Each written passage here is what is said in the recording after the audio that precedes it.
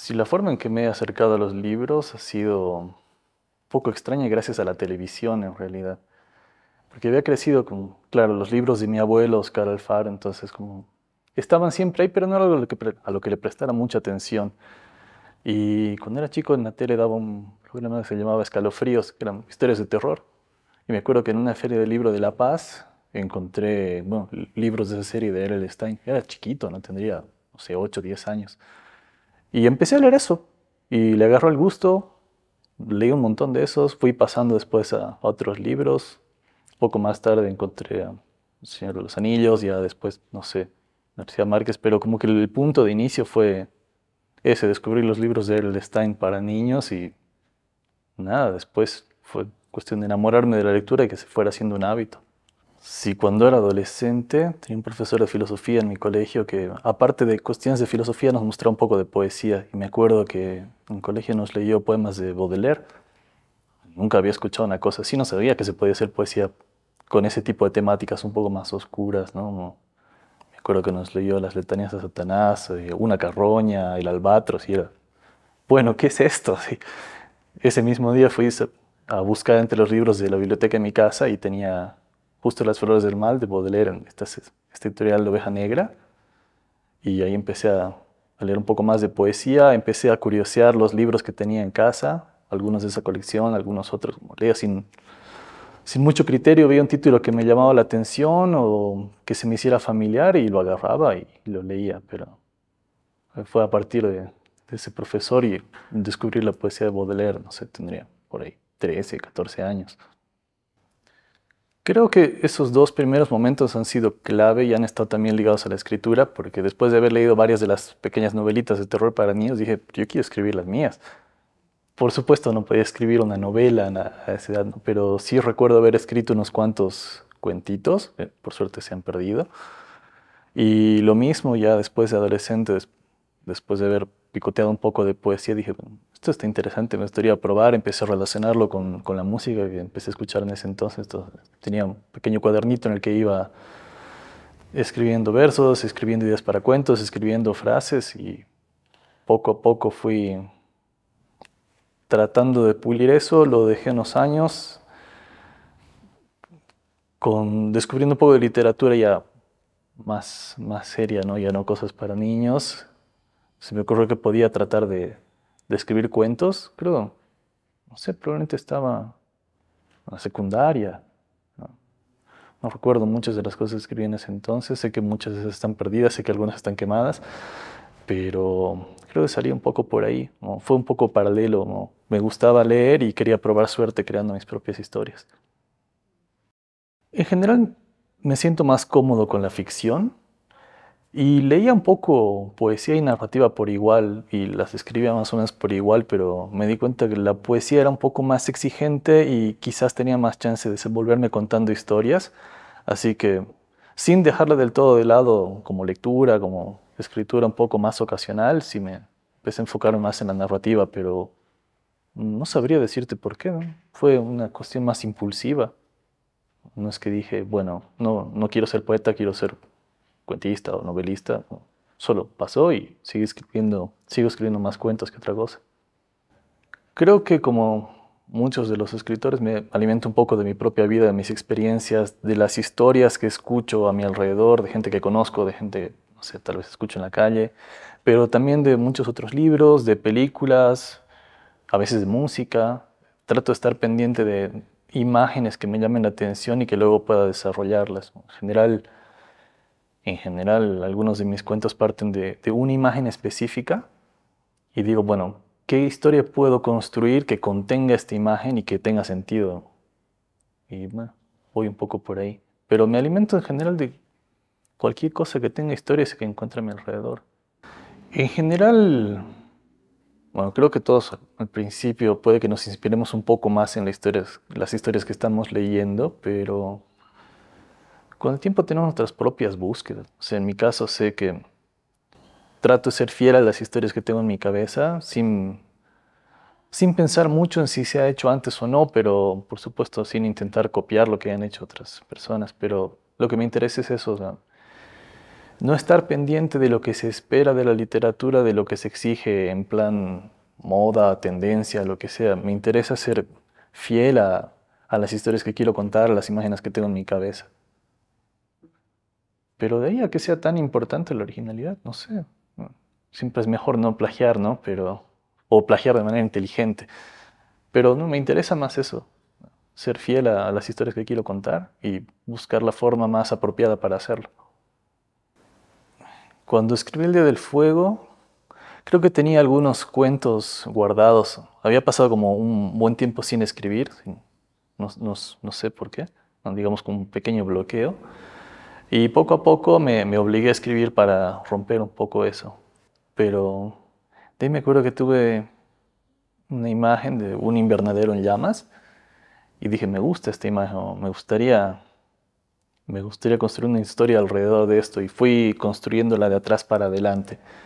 Cuando la terminé, cuando terminé ese primer borrador a mano, no sé, escrito a las 3 de la mañana en un cuaderno, eh, me gustó la idea de que la gente se convirtiera en su, en su propio verdugo de alguna manera, como un pequeño como una especie de invernadero de infiernos personales. Y dije, podría explorar esta beta. Me fijé en unos cuentos de los que tenía escritos un poco antes, me fijé cuáles podían servir para eso, seguirlos trabajando.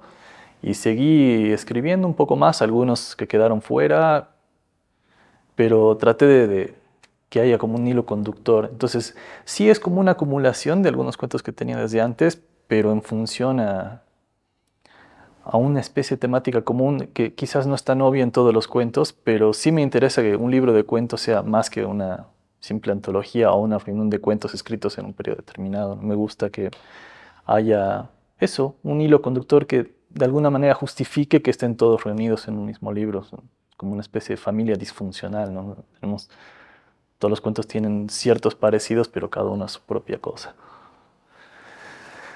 Ahora, no sé, las dificultades que he tenido para escribirlo ha sido...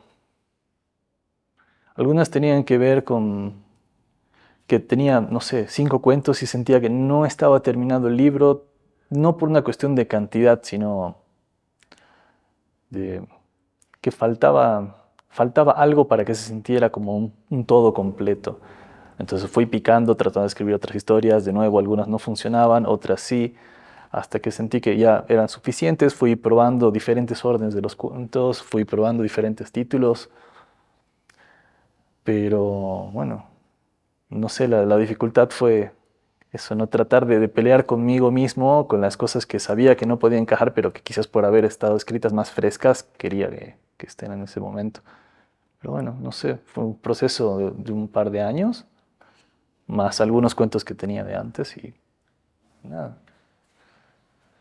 No sé, las dificultades después fueron más buscar editoriales, ese tipo de cosas que sin haber publicado antes es, es un poco intimidante, difícil, no sé, pero creo que surgió cuando, cuando escribí, creo, el tercer, cuarto cuento de los que entraron en esa selección, este justo del invernadero, descubrí que había algo ahí que me interesaba explorar, ¿no? Como una pequeña beta que dije, este tema específico me, interesa explorarlo y voy a ver qué más puedo encontrar o construir que siga esta línea, que era la idea de gente un poco encerrada en su propio dolor, que en general, bueno, todos están un poco atormentados, ya sea por sus circunstancias externas, pero también el cómo deciden lidiar con, ese tipo de cosas. Y fui tratando de, de estructurar las historias y los temas que tenía para que se relacionen entre sí y todos tengan de alguna manera esta beta. Y es algo que he seguido haciendo con, con, el resto de los libros, con cada uno con su propio hilo conductor también, ¿no? Pero si en general voy escribiendo unos cuantos cuentos y cuando encuentro que hay algo en común, digo, ah, ya, está bien. Esto justifica que tales y tales cuentos puedan ir juntos en un mismo libro. Así entonces, bueno, por eso hay algunos cuentos que quizás no entren en el primero, pero sí en el segundo, o queden para un futuro y nada, tienen chance de ser más trabajados con las herramientas que vamos desarrollando con el tiempo. Sí es un poco la nostalgia, pero quizás es un poco más amplio. Esta nostalgia ligada a la imposibilidad de, de volver a estos lugares o momentos, o incluso gente con la que hemos sido feliz, o que de alguna manera ha sido importante para nosotros. Sí intenté que todos los cuentos de alguna manera toquen eso, incluso puede ser la, la seguridad como un, como un lugar al que ya no podemos volver. Entonces hay algunos cuentos que tocan temas ligados a, viajes, a, migración, a desencuentros con los demás. O sea, ahí explora un poco de mi relación con, con Bolivia, con Buenos Aires en diferentes viajes. Viví unos tres, cuatro años en Buenos Aires, entonces era una ciudad que me interesaba seguir explorando, pero ya que no podía volver a viajar, dije, bueno, puedo explorar las de la ficción. Entonces partí un poco por ahí y de ahí fue, fue transformándose un poco. Por eso creo que hay uno o dos cuentos sobre, sobre Buenos Aires en ese libro. Y también otros con la experiencia de, viajar y sobre todo de volver al país. Como ya nada es exactamente lo, lo que recuerdas, pero va un poco por ese lado. A ver, lo de las atmósferas inquietantes no ha sido tan intencional sí me gustan, digamos, sí sé que hay algunos escritores que me interesan que generen ese tipo de cosas, pero me gusta el contraste que se genera entre una, una atmósfera así un poco opresiva y un cuento, digamos, realista. Le da un toque casi de terror sin serlo. Mantiene cierta tensión en el lector por la, la misma atmósfera un poco densa que hay alrededor de los personajes y que es casi es tan importante como, como el escenario donde se desarrollan. No sé si en el segundo, en el segundo de mis libros genera ese mismo efecto. Sé que en el primero sí, no, y no fue intencional mientras lo escribía, pero sí al revisarlo me di cuenta de que pasaba esto y dije, ah, ya, me gusta esto, puedo trabajarlo para, para hacerlo un poco más intenso. El segundo traté de, alejarme un poco de ese lado porque me interesaba explorar otra emoción, digamos, algo más, más íntimo más melancólico, entonces trataba de que las atmósferas más bien reflejen eso, ¿no? como una especie de, de espejo del estado anímico de los personajes. Y en el tercer libro sí lo retoma, pero ya desde un, desde un punto de vista un poco más ligado a lo sobrenatural, sin que sean cuentos de terror en todos los casos, pasan cosas extrañas y eso afecta en el ánimo del personaje, pero también en la, en la atmósfera que lo, lo rodea. A ver, mi, mi tercer libro es Un montón de pájaros muertos. Lo que tiene en común con los anteriores es más que nada el, el tiempo en que han sido escritos. Los fui escribiendo ese y el segundo libro más o menos en paralelo, junto a algunos, algunos cuentos que tenía de antes. Pero si bien tienen en común algunas cuestiones como la atmósfera, como el tratamiento que me gusta darle al lenguaje y a las historias, sigue un lado completamente diferente. Mientras que los dos primeros libros de cuentos son realistas, este otro ya empieza a jugar con lo sobrenatural de una manera un poco más sutil, o bueno, no tan sutil en algunos casos, pero es una búsqueda temática diferente a los anteriores. Y fui, escribiéndolo en paralelo con el segundo porque, nada, me daba cuenta que no eran cuentos que digamos, los realistas y estos más sobrenaturales no se hubieran visto muy bien juntos. Entonces dije, bueno, este sirve para este libro, este sirve para el otro. Son dos tipos de, literatura diferente que me interesa como lector también. Son es un camino que me ha divertido mucho explorar porque tiene otras posibilidades, ¿no? Al romper con la lógica del realismo, de pronto puedes usar mucho más tu imaginación. Entonces sí es importante para mí en el sentido de que me ha abierto otras puertas y sé que es un camino que quiero seguir explorando sin dejar de lado el otro. Si se entrecruzan un poco o cada uno se va un poco en paralelo, todavía no sé muy bien qué va a pasar, pero va un poco por ahí. La verdad es que no me preocupa mucho la, velocidad de publicación. Sé que ha habido, o sea, el tiempo de escritura de cada libro ha sido mucho más largo que el de publicación. Pasa que, por ejemplo, mientras el, el primer libro ya estaba siendo trabajado con la editorial, yo seguía escribiendo, tenía algunos cuentos que no habían entrado en el primero, entonces fui trabajándolos. Y nada, el proceso de edición en la editorial puede ser un poco más lento, ¿no? Entonces, tienes tiempo para seguir trabajando. Entonces, por eso quizás esos han salido, uno en 2021 y el otro en 2022. Y el tercero podría haber salido fácil en 2023, porque lo fui escribiendo casi en paralelo con, con el segundo.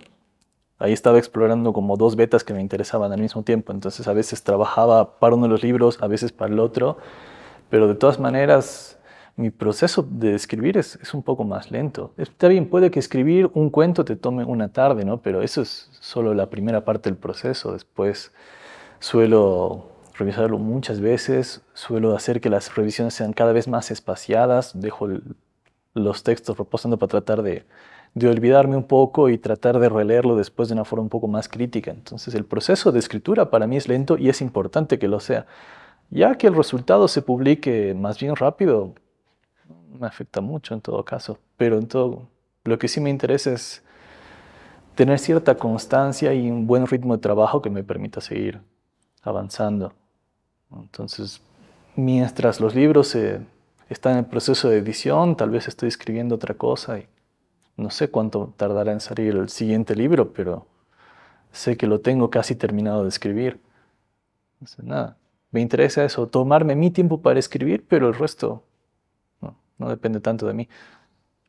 A ver, las cosas que más disfruto al momento de escribir, cuando de verdad fluye la historia que tienes en la cabeza y puedes escribir prácticamente sin parar y sin interrupciones ni siquiera tuyas, me parece maravilloso. Y meterte de cabeza en este mundo que estás creando y vivirlo de alguna manera, incluso sorprendiéndote en el proceso con cosas que quizás no habías decidido que entraran en la historia, pero la historia misma te las va dictando, los personajes se van tomando sus propias direcciones, eso es, no sé, me parece hermoso.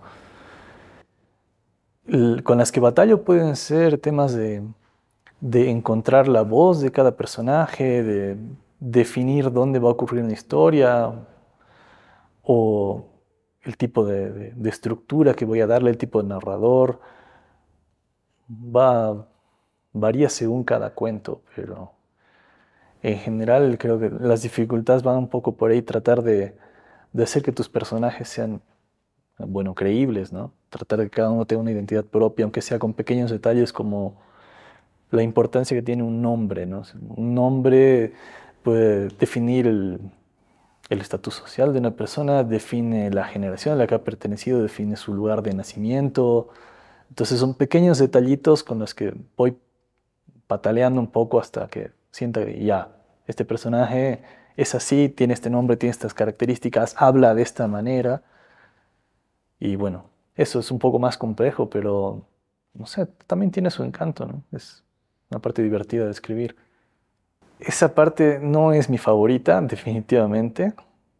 Puedo sobrellevar bien el trabajo solo, las relecturas constantes, hasta hartarme de mi propio texto, porque creo que nada soporta tanta relectura, pero eh, no, hay manera de disfrutar tantas relecturas de un mismo texto, ¿no? sobre todo si es propio, porque estás saltando tus limitaciones, van saltando todos los pequeños errores, siempre encuentras algo para revelar. Pero esa parte no, no me parece tan, tan estresante, digamos. En cambio, la, parte que viene después, la de buscar un editorial, trabajar con editorial, eh, el proceso de editar el libro con otra persona, con los roces que puede generar eso, con encontrarte con errores que no habías visto, eh, tratar de ser firme con ciertas decisiones que te parecen importantes, pero que, no sé, pelear para no cambiar ciertas cosas y sí otras. Esa parte puede ser puede ser interesante, pero me parece que es un reto. Y ya después de eso, eh, publicar el libro, mover los libros, me parece que no es, no es muy fácil en, en el país. ¿no? no sé cuántos de nuestros lectores están pendientes o les interesa la literatura que, estamos produciendo. Entonces siento que quizás no hay tanto lector de literatura boliviana ni siquiera en Bolivia. Claro que los hay y en general como que llegas incluso a conocerlos, ¿no? pero después está el tema de nada, entrevistas, presentaciones, hablar de libros y la verdad es que a mí me dicen, no, pero si, si trabajas con la palabra, como te debe gustar un montón eso y no, o sea, porque al trabajar con la palabra escrita puedo tomarme el tiempo, puedo ser lento, puedo rumiar una sola palabra un montón, entonces no sé si a todos los escritores nos va tan bien hablando con el público, tratando de, de vender nuestro producto, ¿no? que es algo que se espera desde las editoriales. Entonces, esa parte sí se me hace un poco más complicada y no, no es algo que disfrute mucho. Sí puedes tener el encanto de encontrarte con viejos amigos o con colegas escritores o con lectores interesantes y nada, debatir un poquito sobre lo que estás haciendo, ¿no? Pero es un trabajito muy aparte de escribir y no, no sé, yo preferiría evitármelo dentro de lo posible. Tengo unos cuantos amigos con los que comparto las cosas que escribo cuando ya han pasado por lo menos un par de revisiones, ¿no? Y gente cuyo criterio me importa o me interesa y sé que pueden darme consejos, sé que pueden darme palo cuando corresponde, sé también vas aprendiendo qué consejos ignorar, pero me parece clave porque es casi como un proceso de edición previo a la edición misma, ¿no? Se la das, das tus textos a buenos lectores, te hacen devoluciones que te sirven para seguir trabajando el texto, entonces ya para cuando llega el momento de que vean la luz, están mucho más trabajados y mucho más pulidos. Y por lo mismo, si tengo algunos amigos que me mandan sus textos, siempre puedo, los leo, trato de, de darles, bueno, de hacer una lectura que les sirva, ¿no? darles algunos tips si corresponde, hacerles algunas sugerencias, hacerles notar errores.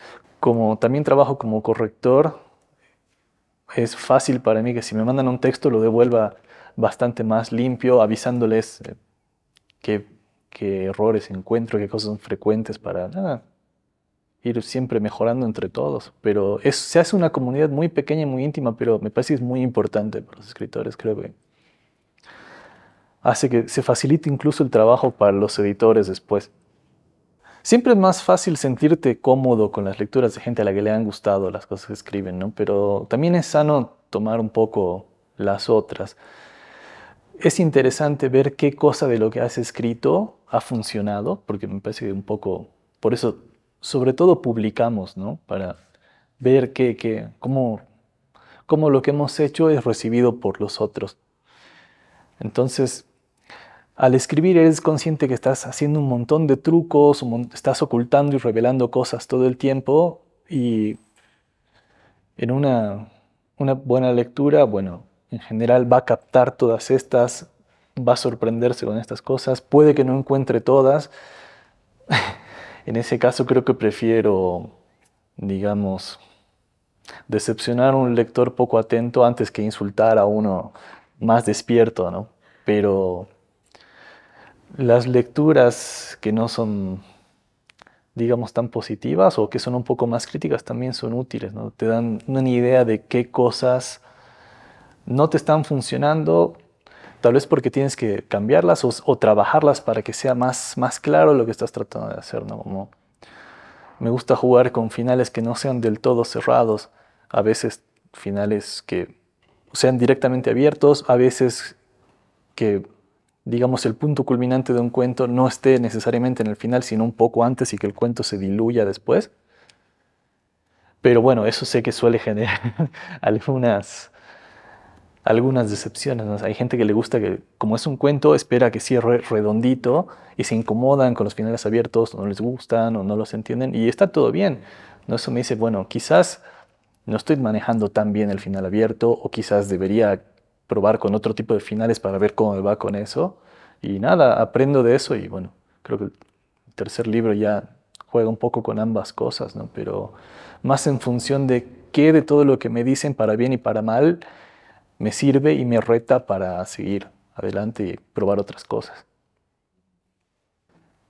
Bueno, creo que con cada, ni siquiera cada libro, con cada nuevo texto que escribo voy aprendiendo cosas nuevas Sí trato de que en cada libro, al momento de editar sobre todo, de editarlo yo, trato de plantearme desafíos y retos, ya sean de estructura o temáticos o de, no sé, probar cosas distintas. Entonces, cada libro es de alguna manera un aprendizaje. Algunos puede que no sean tan bien apreciados como otros, pero eso da un poco lo mismo al final. Cada libro encuentra sus lectores, supongo. Cuando salió mi, libro de cuentos El Día del Fuego, a los pocos meses eh, se dio la cuarentena, entonces nunca llegamos a presentarlo. Entonces eso como que limitó un poquito el alcance del libro, de alguna manera. Y el segundo salió al año siguiente, en plena pandemia, y tampoco lo presentamos en Cocha. Sí hubo una presentación un poco más chica en la Feria del Libro de La Paz, Pero entonces ese tipo de cosas como que de alguna manera han truncado el alcance que podrían haber tenido, o tal vez no, tal vez ese era su alcance y, listo, vamos a ver cómo va con, con el tercero que, se va, que voy a presentar. Pero como todas estas cosas se han dado un tiempo tan corto y han habido estos obstáculos, es, es un poco difícil saber cómo, qué tal ha sido mi, mi carrera, digamos, como escritor. Tampoco sé si en tan poco tiempo, no sé si siquiera si es algo que me corresponde a mí definirlo. O sea, a mí me gustaría que siga, digamos, trato de mejorar constantemente, tratar de participar en concursos puede ayudar, aunque sea como reto para mantenerte en forma. Entonces, nada, voy a ir tomando todas estas oportunidades que vayan saliendo para seguir puliendo lo que hago, aprendiendo de los errores, aprendiendo de las cosas que he hecho bien, aprendiendo de las cosas nuevas que encuentre, leyendo, bueno, sí, mucha literatura también, pero libros técnicos que te ayuden a, a entender mejor el proceso de escritura, las herramientas de escritura, los talleres de literatura también ayudan. O sea, cualquier cosa que puedas convertir en una herramienta me parece que es bienvenida. Ver, mi motivación para seguir escribiendo es sobre todo que, nada, el hecho de escribir, me interesa seguir escribiendo, me interesa seguir siendo fiel a las historias que quiero contar, mientras tenga historias que quiera contar y encuentre las formas de hacerlo, me parece que voy a seguir escribiendo. Después, cosas como publicar los libros, para mí es, es muy lindo ver un, un, libro en el que has trabajado tanto tiempo, así impreso, físico, como esos objetos tan hermosos que han sido importantes en mi vida. Eso es una pequeña motivación, ganar concursos o ver que tus libros le gustan a otras personas también de alguna manera motiva, pero para mí lo más importante es, nada, mi motivación principal es esa, las ganas de seguir escribiendo. Mm, la verdad es que con el tema de los concursos es algo que no había eh, probado mucho antes, pero me di cuenta que, a ver, me interesa escribir, pero también me interesa comer, ¿no? sé que publicar libros, escribir libros no es algo que dé mucho dinero, pero no me parece muy justo, ¿no? Porque es un oficio como cualquier otro. Entonces, tratando de pensar en formas de que escribir me genera algún tipo de, ingresos, dije, bueno, ya quizás publicar y vender libros no sea el camino, pero puedo probar con, con ganar concursos. Y probé suerte con, unos pocos, la verdad, sí, muy poquitos. Y haber ganado uno ha sido, bueno, para empezar, una linda sorpresa, ¿no? Y después, bueno, cuando me llegue ese dinero va a ser una buena motivación también, ¿no? Por eso sé que hay una parte burocrática por detrás de los concursos, pero la verdad es que, nada, cualquier ingreso viene bien, ¿no? Sobre todo porque veo que algo que me interesa hacer, a lo que quisiera dedicar todavía más tiempo, por fin está generando algún tipo de no sé, como de, feedback más allá de, unas lindas palabras de parte de unos cuantos lectores, ¿no? sé. Entonces, la idea de generar un poco más de dinero, ya sea publicando, ya sea ganando concursos, puede que a la larga me permita dedicarle más tiempo a escribir, que es lo que me interesa. También me parece que es una buena forma de, medirte un poco, de ver con quiénes están escribiendo, eh, como generar un poco más de competencia, me parece, no en el sentido de, pelear por un primer lugar, ¿no? sino de obligarnos entre los que estamos compitiendo a, mejorar y pulir nuestro trabajo, me parece que es clave y puede hacerle mucho bien a, nuestra literatura.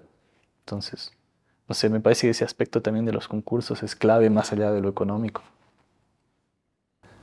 Donde la verdad es que trato de leer bastante literatura nacional.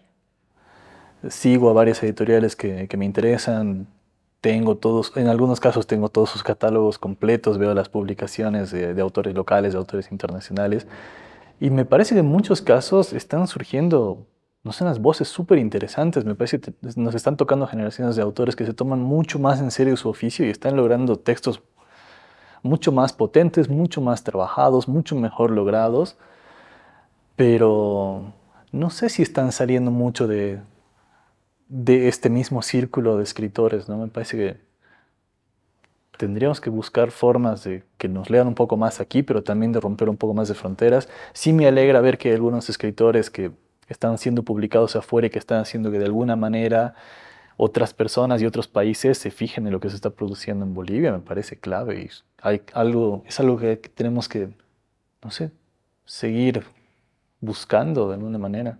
Me parece que la calidad de la literatura que estamos produciendo acá está siendo muy buena y vale la pena tratar de, de no sé, dejarla viajar un poco más.